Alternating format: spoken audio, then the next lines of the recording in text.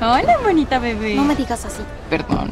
Salí antes por una crisis en el trabajo y se me ocurrió que fuéramos por el lado. Qué bueno que arrestaron a esa ridícula demente. Ah, am, esa persona en situación de irrealidad. Esa mujer cree que es Barbie. ¿Qué? ¿Qué, qué dijiste? Cree que es Barbie. Está muy convencida. ¿Qué estás haciendo? ¿Qué haces? Mamá. Mamá.